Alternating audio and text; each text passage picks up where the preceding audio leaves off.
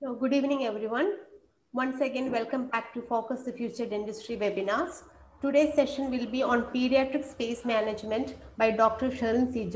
She completed her BDS from Calicut GDC and MDS in Pedodontics from Mar Baselios Dental College, Kothamangalam. She's more into researches and publications. She got her research piece award for Best Researcher in Pediatric Dentistry. Welcome, ma'am. Dr. Hima, for your kind words. I hope I'm audible to you all. Am I loud and clear to you all? You can hear me, right? Okay, so today our topic is on pediatric and preventive dentistry. So pedo is actually one topic in which you need to cover a lot of headings. Like in fact, it is an uh, child dentistry. It covers almost the entire adult dentistry in a nutshell. That means you have got important topics in pedo from endodontics, then you have trauma part, which is important. You have orthodontic part, which is again important. So you have uh, a lot of topics in pedo as a, uh, as a very, very important for your NEET entrance exam, especially the endo parts and the trauma part. So in the last exam, that is in the 2021 NEET exam, if you observe, you can see that there were two questions, two or three questions from space management alone. So that again is an important topic for you. So today we will be having a brief and short description on pediatric space management and about the space maintainers. So I think it's time and we'll start with today's topic. So today's topic is on pediatric space management. So in pediatric space management, you need to know a lot of first, first thing that you need to know in pediatric space management is what happens when there is an early loss of primary tooth. The first thing that you need to know is that whenever there is an early loss of primary tooth, you know that what happens? It will affect the alignment of the permanent dentition that is next to the edentulous space. Definitely there will be a tooth tilting. And as shown in the picture, you can expect a supra-eruption of the opposing teeth, mesial inclination of the tooth, that is mesial inclination of the tooth that is distal to the space, distal inclination of the tooth that is mesial to the space. And what will be the end result? The end result will be that you will get a locked out premolar or a locked out permanent successor. So it can either, there will be a deviation in its path of eruption and it may either erupt buccally or lingually, or it may be remain locked out.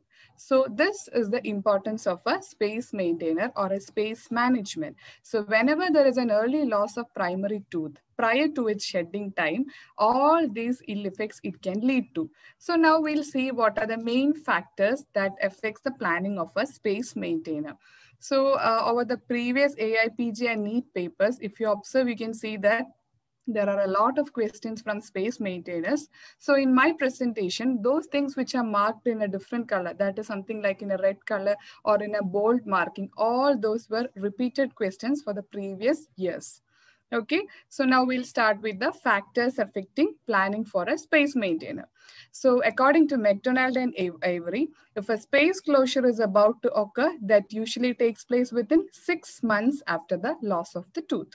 Okay, this is an important MCQ for you. Maximum space closure for following extraction is occurring within six months after the loss of the tooth. And also, the tendency for space closure is more rapid in the maxillary arch when compared to that of the mandibular arch. Another important question for you, the, the space closure is more common, more rapid in the maxillary arch when compared to that of the mandibular arch. When it comes to space maintainers, like you can get questions like um, true or false questions, How, which among the following statement is true, which among the following statement is false and all right. So all these, uh, in these important points can be one among the option.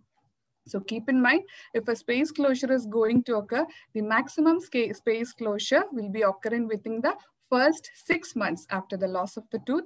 And also the tendency for space closure is more rapid in the maxilla when compared to that of your mandibular arch. Now, the next thing that you need to know if whether if the teeth is actively erupting adjacent to the area left by the primary tooth. So as I've already mentioned, uh, whenever there is a loss of a primary tooth, there is a high chance for a, the, the tooth distal to the space as well as the tooth mesial to the space, they can shift to that position. So the space loss is maximum when the teeth is actively erupting adjacent to the area left by the primary tooth. So that is typically the space loss is maximum before or during the eruption of your first permanent molar. Space loss is maximum during or before the eruption of first permanent molar. And also the space loss is less if the permanent molars are fully erupted at the time of the primary tooth loss. Okay, if the primary two molars are fully erupted at the time of the primary tooth uh, loss, the space closure is much less when compared to that of an erupting teeth adjacent to the area left by a primary tooth. So these are the things that you need to know most importantly in planning the space maintainers. Okay. Now, the next important point is again an important MCQ question for your NEET exam, for your AIIMS exam, for your INI CET exam, everything. So the maximum space is lost during the first six months of extraction of the primary tooth and most immediate loss is within 76 hours after the extraction. Okay, keep this thing in mind. It is very, very important for you. The maximum space is lost within the first six months of extraction and the most immediate loss is occurring within 76 hours of extraction. Okay, keep this in mind. The rate of space closure, very, very important MCQ for your NEET entrance exam. Now moving on to the next question, that is the amount of bone coverage over the tooth. So according to McDonald, 1 mm of bone, that is the amount of bone coverage over the tooth is one factor which always uh, you depend on before planning for a space maintainer. That is, if a tooth is about to erupt soon, do you need a space maintainer? No. So how do you decide that radiographically? Radiographically, you decide that by knowing the amount of bone coverage over the tooth. So according to McDonald, 1 mm of bone resorbs in 4 to 5 months. Very, very important MCQ question for you. It takes 4 to 5 months for resorption of even 1 mm of bone over the erupting permanent tooth. Okay, 4 to 5 months for the uh, resorption of 1 mm of bone. So this is another important factor uh, prior to the play that you decide uh, prior to the placement of a space maintainer. I hope I am clear to you all till now. Now moving on to the amount of space closure. So amount of space closure, as I've already mentioned, whenever there is an erupting tooth adjacent to the uh, space loss, there is high chance or there is maximum amount of space closure is occurring at that time. So this is an important MCQ for you. That is loss of a maxillary second primary molar. That results in the greatest amount of space closure and that measures up to about 8 mm of space loss in one quadrant. Okay, loss of a maxillary second primary molar results in the greatest amount of closure, measures up to 8 mm in one quadrant. And at the same time, the mandibular molars, they show the greatest amount of space loss, next greatest, and that is measured up to 4 mm in a quadrant. Okay, so amount of space closure, maximum, uh, maximum space loss is caused by a missing maxillary second primary molar prior to the eruption of your first permanent molar, followed by your mandibular second primary molar prior to the eruption of your uh, first permanent molar. So these are the main factors that which you decide before planning your space maintainer. Okay, so please repeat. Which top uh, which point do you want to repeat? The amount of space closure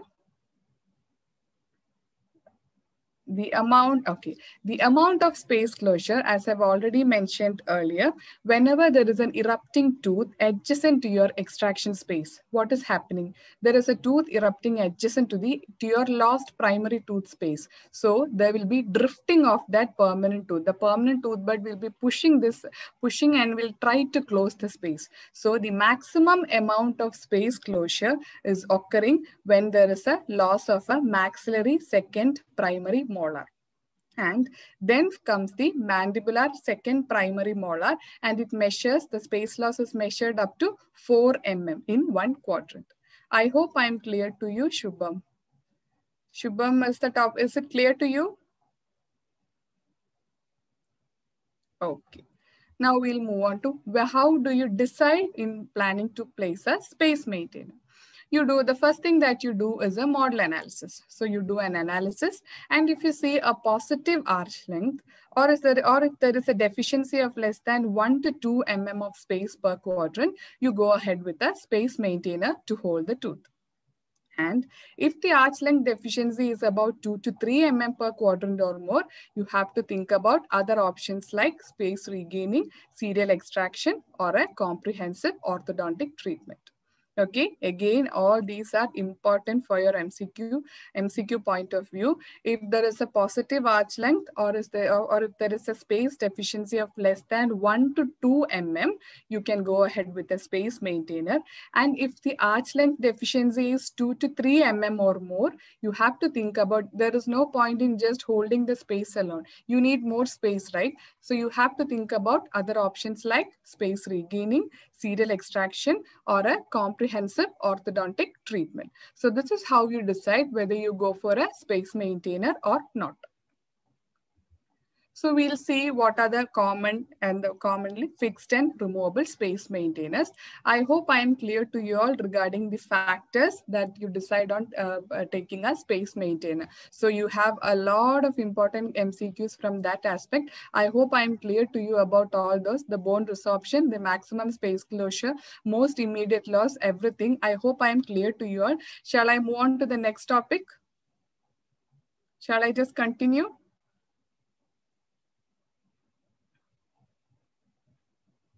Okay. So we'll uh, go ahead with the space maintainers. So you have fixed space maintainers as well as removable space maintainers. Okay.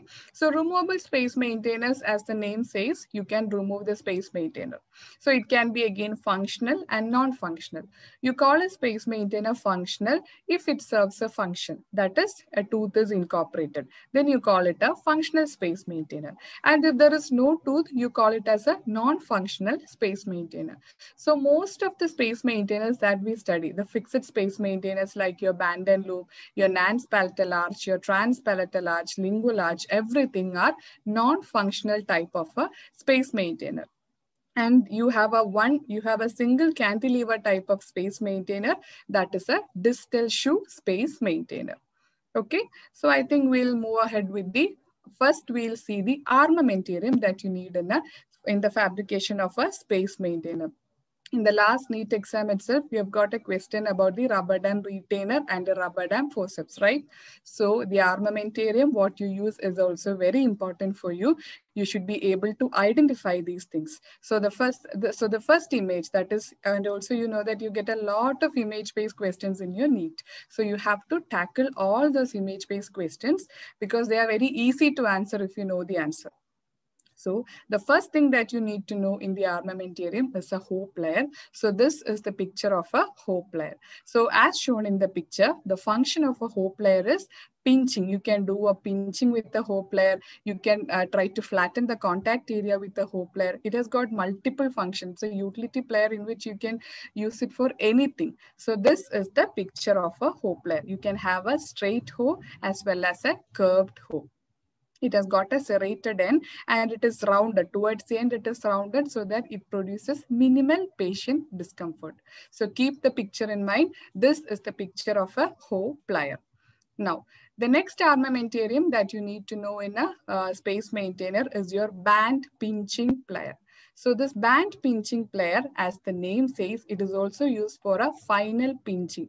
When you adapt the band around the tooth, you need a final pinching. The first pinching, you do it with a hoe plier. What is the purpose of this pinching? The pinching is done so that uh, you get a tightened band around the tooth you need a close approximation between the band and the tooth. So a final pinching is done with the help of a peak plier or what you call a band pinching plier. So this is the image of a band pinching plier and it has got a depression, a concave surface and all this helps in adapting the band properly around the tooth. So keep in mind, this is the picture of a band pinching plier. Now, Next thing that you need to know in the armamentarium is your three-prong plier. So this is the image of a three-pronged plier. You have to keep in mind, as the name says, it has got three ends. That is why it is called a three-pronged plier. One end, second end, and the third end. This is called a three-pronged plier. And a three-pronged plier is typically used in forming loops. When you do a band and loop space maintainer, you need certain point bends around the loop. So that is done with the help of a three-pronged plier. Yes, this is the name of a peak plier. This is a band pinching plier. Okay, band pinching plier is otherwise called a peak plier. It is different from a bird beak plier. You call you call this plier as a peak plier. Okay, now this is the image of a three prong plier. Okay, three prong plier as a, as the name says, you have got three ends, one, two, and three. Okay, three ends are there, and that helps in forming the loop of your band and loop. Now moving on to the next armamentarium, this is the image of a Mershon band pusher. So it has got a cylindrical end. It has got one side is cylindrical. This is the place where we hold the band pusher. And it has got a serrated end. Its main function is to adapt the band properly to form a proper contour of the band around the tooth. So that is the function of a Mershon band pusher. So keep the image in mind. This is the picture of a band pusher. Okay, this is a Mershon band pusher. Now, next thing that you need to know is your Johnson's contouring plier. So the Johnson's contouring plier, as the picture says, it has got a concave end as well as a convex end. So the main function of a Johnson's contouring plier is to form the, when, when you adapt it onto the gingival surface, you can properly contour it in the tooth, of, in the shape of the tooth itself. This is particularly helpful in the case of a preformed band. Okay, when you're doing a band adaptation, you don't generally require a Johnson's contouring plier. But when you're working with a pre-formed band, you have to, or a ready-made band, you need a Johnson's contouring plier to give the proper contouring around the tooth. So this is the picture of a Johnson's contouring plier. It is the same plier that we use as a contouring plier in fabrication of stainless steel crown. Okay. Uh, this is the picture of a Johnson's contouring plier.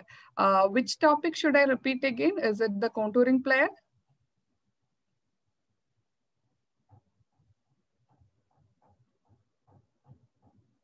Pusher. Okay, so this is the picture of a band pusher. So I repeat, it is a Mershon's band pusher. This is the cylindrical end where we hold it. This is the place where we hold this band pusher and it has got a serrated end a cylindrical, it's almost cylindrical in shape and it has got a serrated end. The main function of a band pusher is like as in the name, it is used in helping to push the band. You can push the band around the contact area as well as adapt it properly following the contours of the tooth. Okay, so I hope I am clear to you now. So this is a Mershon's band pusher. Now, next thing is the Johnson's contouring plier, which I have already mentioned. And now we move on to the next armamentarium thing, that is a crimping plier. Crimping plier also, you might have known this name in the fabrication of a stainless steel crown. Yes, it is the same crimping plier. So you can see it has got an, it has got an end like this. So this is where when you adapt it over the gingival third of the crown or the band, you can get a proper adaptation around the tooth. So that is the function of a crimping plier. So crimping plier and contouring plier, in the case of a space maintainers also, we use the same thing that we use in the case of a stainless steel crown. So keep in mind of this picture, this is the picture of a crimping plier. Okay. Now that is, uh, so we are done with the armamentarium in the space maintainer part. And now we'll see the space maintainers, the brief and the most important points that you need to know in your entrance exam in the following. Okay, so the first space maintainer is a band and loop space maintainer. So you know it is a unilateral, non-functional, and it is a passive space maintainer. So all the fixed space maintainers are passive space maintainers because they generally, they don't create, when you call an appliance passive, when it is not in, when it is not causing any kind of pressure, right? That is one when you call a, a space maintainer as a passive one uh, crimping plier. What is the confusion in crimping plier? just have a look at the crimping plier. You can see it has got a notch kind of end. So when you place it around the gingival third of your crown or your band, you can get a proper adaptation of your band or your crown around the tooth. So that is the main function of a crimping plier. Shubham, I hope I am clear to you now. This is the picture of a crimping plier. Am I clear to you? Okay. So moving on to the band and loop space maintainer. So let's see what is the main indications of a band and loop space maintainer. So the indications like uh, what you have learned in your part two exam, you don't need to know that. You just need to uh, you just need to be able to answer the problem solving questions that you can expect from this point. Okay, so a band and loop space maintainer is generally used for unilateral space loss in both maxilla and mandible. It can also be given bilaterally. You can also give a band and loop space maintainer bilaterally also. So typically a band and loop space maintainer is used for a unilateral loss of your primary molar, especially a single primary molar. Now, it can also be given in bilateral cases of space loss or primary molar loss prior to the eruption of your permanent incisors. That is, when uh, if the incisors are erupted, what appliance you give in bilateral loss, it is the lingual arch appliance. So generally, prior to the eruption of your permanent incisors, if there is a bilateral loss of the primary molar, you can go ahead with the band and loop space maintainer. Now, the last indication is that if a second molar is lost after the eruption of your first permanent molar, you can band around the first molar and give a loop uh, loop that contacts the D. So these are the typical indications of a band and loop space maintainer. Now we'll see the picture based things. So this is the picture of a band and loop. You can see that a band, uh, usually the tooth that is distal to the uh, edentulous or the extracted space is banded. And then you can see a loop that passes through the extraction space and contact the tooth that is anterior to the space. So this is the picture of a band and loop space maintainer. Okay, so keep the picture in mind. You can see a band around the tooth and a loop that passes through the edentulous area and contact the tooth that is mesial to the extraction space. Then, then you need to know certain modifications in band and loop space maintainer. So the first modification in a band and loop space maintainer is a Mayne space maintainer. So what is actually a Mayne space maintainer? A Mayne space maintainer. It's a space maintainer in which a band and loop in which the loop is halved. In this picture, you can see that only half of the loop is seen, right? One side, the loop is missing. In, the, in such, such kind of a loop space maintainers, you call it as a Mayne space maintainer. So if you get a picture like that, like this in your NEET exam, don't write it as a band and loop space maintainer. It is a modification of band and loop. That is, it is a Mayne space maintainer. Okay, that's a band and loop space maintainer in which the loop is halved. So what is the function of a Mayne space maintainer? The Mayne space maintainer is indicated if the abutment tooth is rotated. Okay, you can see a slight rotation in this tooth, right? And if the abutment tooth is rotated, or if the permanent tooth is almost erupting, or when the loop is going to be a restriction for the eruption of the permanent tooth. So only in these three conditions, you just have the band, the loop of the band and loop. And the half loop band and loop is called a Mayne space maintainer. I hope I'm clear to you all. If there is any confusion, you can uh, message in the chat box. Okay, so I hope this is clear. This is the picture of a Mayne space maintainer. Now, next thing that you need to know is your crown and loop space maintainer. So what is actually a crown and loop space maintainer? Crown and loop space maintainer means that what you see, you first you see a crown.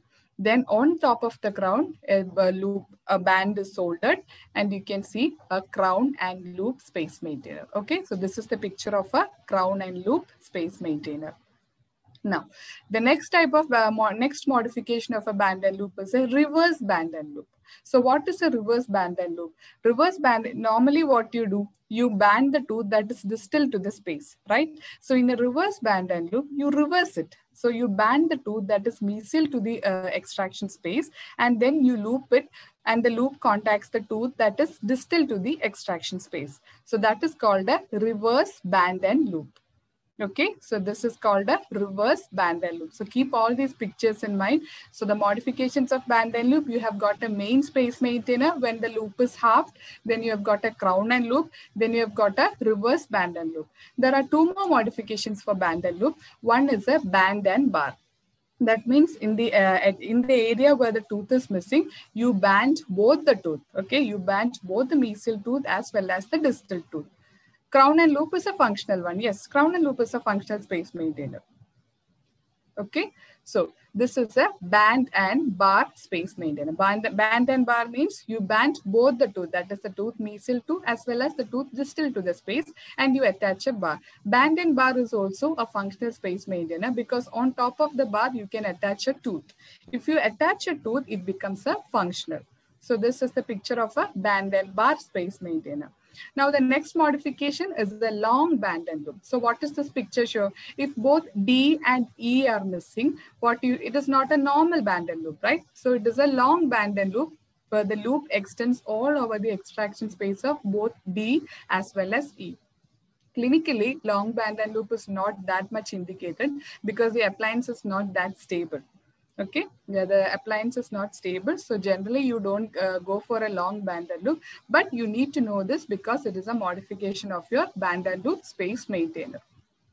Okay? So that is it about the band and loop space maintainers. I hope i am clear to you all now we'll see what is the next space maintainer. That is a lingual arch space maintainer. So lingual arch means it is a bilateral space maintainer in the mandibular arch. Again, it is non-functional and it can be passive and active. In some cases, the lingual arch, you have a U loop. If there is a U loop, you can activate the appliance for minor space regaining. So it can be either passive or an active appliance and typically it is given in a mandibular arch. So whenever you get problem solving questions like multiple tooth loss, like if both D and D are missing, if the bilateral loss of both D and D or anything like that, if the age given is uh, if the age given correspond to the eruption of your permanent incisors then you can go for your lingual arch space maintainer. For example if the child is around six years of age and then uh, six or five and a half years of age with just the uh, anterior tooth is not erupted can you give a lingual arch space maintainer? No. In that case you have to go for a band and loop space maintainer bilaterally Okay, so at the same time, if the central incisors and the lateral incisors are erupted, and in that cases of bilateral space loss or multiple tooth loss, you can go ahead with the lingual arch space maintainer. Okay, so this is the importance of a problem solving question. You can get questions like this. Whenever it comes to space maintainer, always keep in mind about the age of the child okay the age of the child does it correspond to the age of the eruption of your permanent six as well as the permanent anterior that is one thing that you have to keep in mind when you're uh, answering a problem solving question pertaining to the space maintainer so these are the indications of a lingual arch space maintainer. So it is given in multiple loss, bilateral loss, unilateral loss after the eruption of the lower incisors, as well as in minor space regaining. So I hope I'm clear to you about the lingual arch space maintainer. So this is the picture of a lingual arch space maintainer. You can see that both the tooth is banded and then uh, like an arch wire, it passes on the lingual side contacting the cingulum of the uh, anterior tooth. So this is the picture of a lingual arch space maintainer. Okay, now if a lingual arch is having a U loop, you call it a Hart's lingual arch. Okay, Lingual arch with the U-loop is called a Hart's lingual arch. And the main function of a Hart's lingual arch is what? When the, whenever there is a U-loop, that shows that you can activate the appliance, right? You can activate the appliance and it can be used in minor space regain. So that's it about the Hart's lingual arch. It's a modification of your lingual arch. That is a lingual arch with the U-loop is referred to as a Hart's lingual arch. Now, next thing that you need to know is the Mershon's modification of a lingual arch space maintainer. So this, I don't know, many of you might not be knowing about the Mershon's modification. So it is important for your NEET exam because they, they always wanted to confuse you. Rather than asking direct questions of band and loop and lingual arch, they'll be asking something like this. So keep in mind, this picture is a Mershon's modification in which in the lingual arch, spurs are placed distal to the canine. And that is particularly used in the case of loss of both primary first and second molars. Okay, so this is a Mershon's modification. When you see a spur distal to the canine, a spur is placed distal to the canine, and if there is a bilateral loss of both deciduous molars, you give a modification like this. So the name of it is important. It is called a Mershon's modification. Okay, so this is the Mershon's modification of a lingual arch. So that is it about lingual arch. I hope I'm clear to you all. And we'll see with the Nance palatal arch. So what is a Nance palatal arch? Nance palatal arch is a bilateral space maintainer that you give in maxilla. So this is the picture of a Nance palatal arch. So keep in mind, you have got an acrylic button here and you band the two molars. So Nance palatal arch is indicated in bilateral space loss in the maxillary arch. Keep the picture in mind. Okay. Now the next space maintainer that you need to know is your transpalatal arch. So what is a transpalatal arch? Transpalatal arch is a unilateral space maintainer that you use in maxilla. So one important thing that you need to know about TPA is that it is introduced by Goshgarian. So it is otherwise called a Goshgarian appliance. So rather than getting options directly like transpalatal arch, you can expect options as, op, um, in the options, you can expect this name also, Goshgarian appliance. Okay, so keep this, is my, keep this in mind. Very, very important question for you. Transpalatal arch is a unilateral space maintainer and it is otherwise called a Ghosh-Guerian appliance. Okay, Goshgarian appliance. Uh, keep that in mind. Now moving on to the last type of space maintainer, that is a distal shoe space maintainer. So what is a distal shoe space maintainer? A distal shoe space maintainer is an intra-alveolar appliance. That is, the other appliances, they are not going deep into your bone or gingiva or anything like that. So distal shoe is the only uh, space maintainer which is intra-alveolar. Okay, it is a cantilever type of space maintainer as well as it is otherwise called a intra-alveolar appliance. Just like your Goshgarian appliance, when you get an option like intra-alveolar appliance, uh, you have to think about the distal shoe. So what is the indication of a distal shoe? A distal shoe is indicated whenever there is a premature loss of your second primary molar prior to the eruption of your permanent first molar. So in regarding the treatment planning, I've already explained to you that whenever there is an erupting permanent tooth adjacent to your deciduous tooth loss, there will be extensive space loss, right? Do you remember what was the space loss that is caused due to a second maxillary molar? Any one of you please, uh, please post in the chat box. The maximum amount of space closure caused in the uh, maxillary, caused due to the loss of maxillary second molar is a Yes, good. It is 8 mm. And in the mandibular arch, it is? Yes, good. It is 4 mm in the mandibular arch. So you keep in mind, distal shoe is an appliance that is given in the case of a premature loss of a second primary molar prior to the eruption of a permanent first molar. So distal shoe, every a lot of MCQs comes from distal shoe alone. So keep this thing in mind. Distal shoe was first reported by Willett. Okay. Willett was the person who introduced distal shoe. So the first appliance was a cast gold appliance. So being a gold appliance, it was disfavored due to increased cost of the appliance. Now what we use is the Roche variant of the appliance. So a Roche variety has got a V-shaped gingival extension while, while the Willett's one has got a bar type of gingival extension. Okay, all these points are very, very important for you. You study it now itself.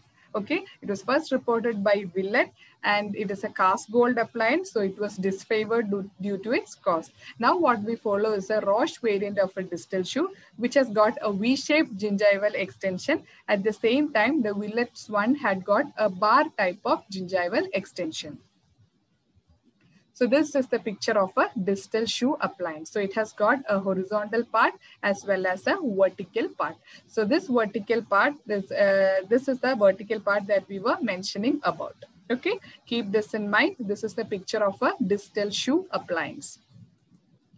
Now, in the case of a distal shoe, when you're giving a distal shoe in the mandibular arch, the contact area of this vertical extension of the appliance is slightly lingual to the crest of the alveolar ridge in the case of mandible, and it is slightly facial to the crest of the alveolar ridge. That is just to engage the mesial contact area of the erupting permanent first molar okay. The distal action that, that is the contact area of the distal extension of the appliance. It is placed slightly lingual to the crest of the alveolar ridge in the case of a mandible and slightly facial to the crest of the alveolar ridge in the case of a maxillary appliance.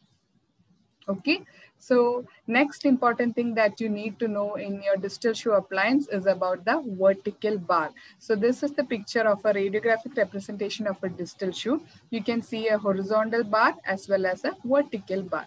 So this vertical bar's extension has been repeatedly asked in many of your entrance exam. So the vertical bar should extend 1 mm below the mesial marginal ridge of the first molar.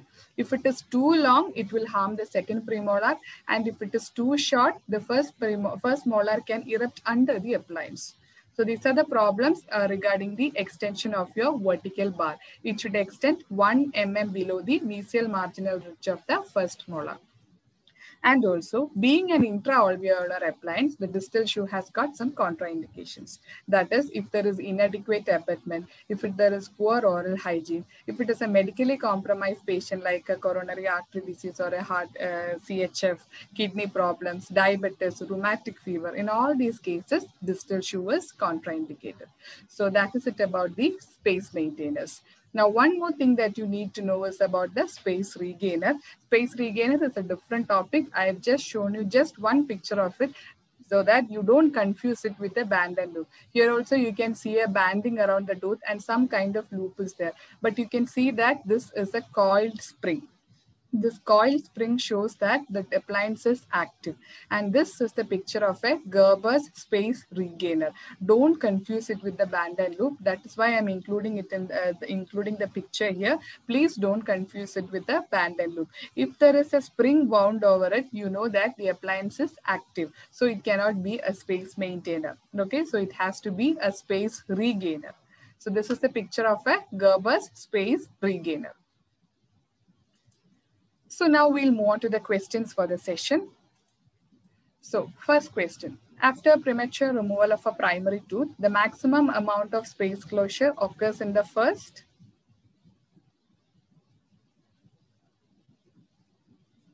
Yes, very good. It, is, it occurs within the first six months. And most immediate loss occurs within how many hours? Yes, six months and seven. No, it is not 72. Many of you are getting confused again. Six months and 76. That is how you should remember.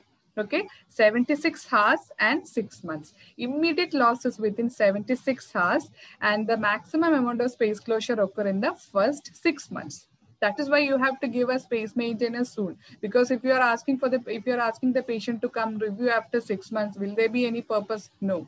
Maximum amount of space closure is occurring in the first six months. Keep that in mind. First six months and the most immediate losses within 76 hours. Now moving on to the second question. An unerupted premolar usually takes how many months to travel through 1 mm of bone Yes. Correct again. It is four to five months. An unerupted premolar takes four to five months to travel through one mm of bone. Okay, it takes usually one, it takes uh, four to five months to travel through one mm of bone. Now, next question. The appliance shown in the figure was introduced by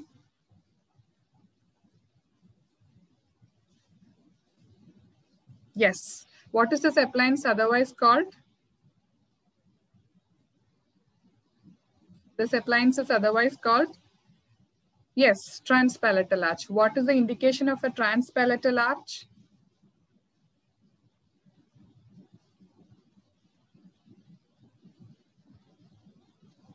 Yes, unilateral space loss in maxilla. That is the indication of a transpalatal arch. So the answer for this question is Robert A. Goshgarian. Now, Amount of space closure after the premature extraction of a primary tooth is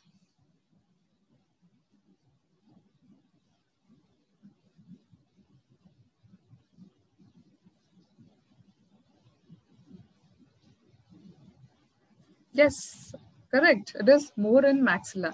And that too, the maximum is with the loss of maxillary second deciduous molar and its value is, what is the value? You have already answered prior. The value in the, the second deciduous maxillary molar is lost is, yes, correct. It is 8 mm. And in the case of a mandibular second deciduous molar, it is 4 mm. Very good.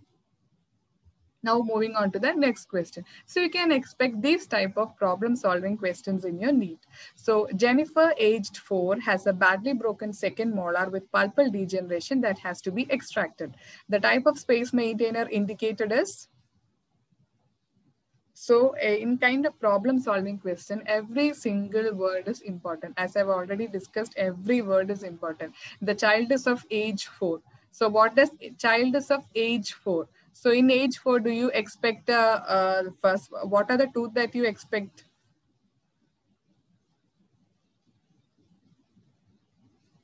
It is a badly broken second molar. Yes, correct. It is, I got one correct answer from Nandini. Dr. Nandini, you're right. It is a, it is a distal shoe intraalveolar appliance.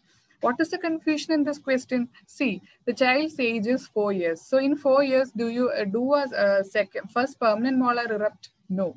So what is the indication of a distal shoe space maintainer actually? It is indicated in the case of a deciduous second molar loss prior to the eruption of your first permanent molar. So that is the clue that is given here. Child's age is four years. That is, there is no erupted permanent first molar. Then how can you give a banded loop? You cannot give a banded loop. You have to give a distal shoe appliance. Is, this, is the question clear to you all? Because I got many multiple answers in this question. Is the question clear to you? Yes. So that is how you should approach a problem solving question. The age is important. The tooth that is involved is important. And then you go to the type of space maintenance. So keep in mind, age is four. That shows that your permanent molar is not erupted. So without eruption of a permanent first molar, can you give a band and loop from a primary first molar to the approximate area? No, the better appliance is the distal shoe intraalveolar appliance. Now, going on to the next question. The depth of the distal shoe into the gingiva to guide the unerupted first permanent molar should be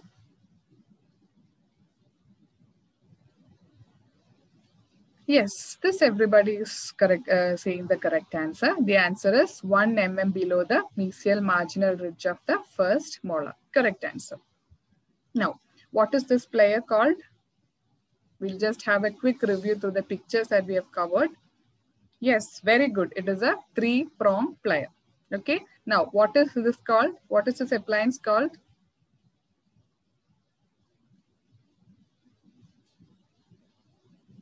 Yes, it is a Mershon's modification of a lingual arch. So what is a Mershon's modification? You can see that spurs that are seen distal to the canine and that is given in the case of both deciduous first and second molar loss.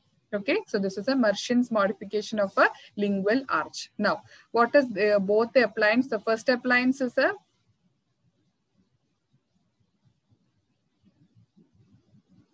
The first appliance is a passive appliance and that is a band and loop. Now, what is the second appliance? The second picture is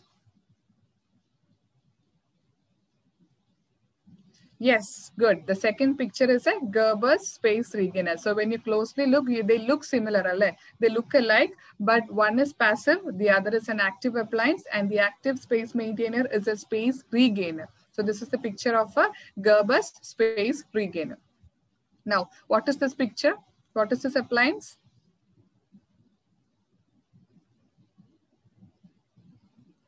Yes, very good. It's a Hart's lingual arch. That is a U-loop is there. So it's a modification of the lingual arch. It is a Hart's lingual arch. Now, what is this appliance called? Yes, it is a Mayne space maintainer. It is a band and loop space maintainer when you were with the whenever the loop is halved. So where is it typically indicated? If the permanent premolar is almost erupting and if the adjacent tooth is rotated, you use a Mayne space maintainer. So this is the modification of a band and loop space maintainer.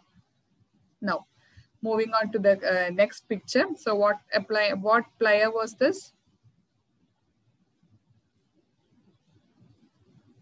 Yes, correct. It's a hoe plier and its main function is in pinching your band.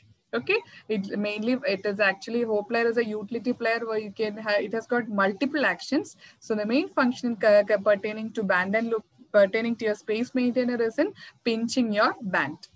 Now, the last question, the space maintainer of choice when a bilateral primary mandibular first molars are missing after the eruption of your permanent first molars.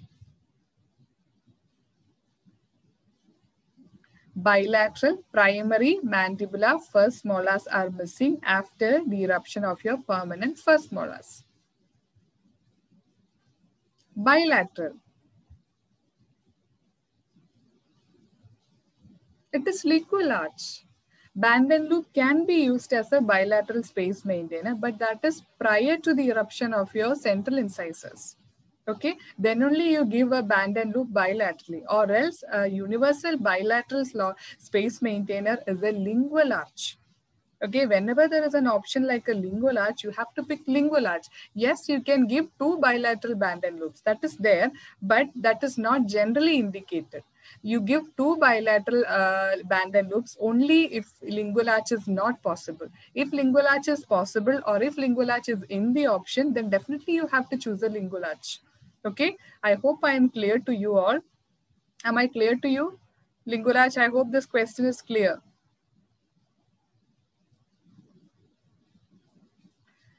See, band and loop space maintainer is generally considered to be a unilateral space maintainer. Okay, band and loop can be given bilaterally if lingual arch is not possible. If and only if lingual arch is not possible, then only you give a bilateral band and loop. Otherwise, in the case of a bilateral space loss, you have to go ahead with a lingual arch appliance. The appliance of choice in bilateral space loss in the mandibular arch is lingual arch. Is that clear to you now? Whenever lingual arch when is lingu lingual arch is not see lingual arch has got an arch extending to ex that that covers your uh, cingulum of your anterior tooth. If the anterior tooth is not erupted then you cannot give a lingual arch then where will that uh, loop contact? No you cannot give a lingual arch when the anterior tooth is not erupted. So if the anterior tooth is not erupted that is given typically in my explanation okay? In the indications we have clearly mentioned it if the anterior tooth is missing, then you can go for two bilateral band and loop. If the anterior tooth is fully erupted and uh, you have a bilateral space loss, you have to go for a lingual arch. So I hope I am clear to you all. Band and loop is given, yes, band before eruption of the anteriors, you in the case of a bilateral space loss, you can give two bilateral band and loop. But if uh, anterior tooth is erupted, then you have to go for a lingual arch space maintainer. I hope I am clear to you, which is a space maintainer of choice in the bilateral space loss in maxilla.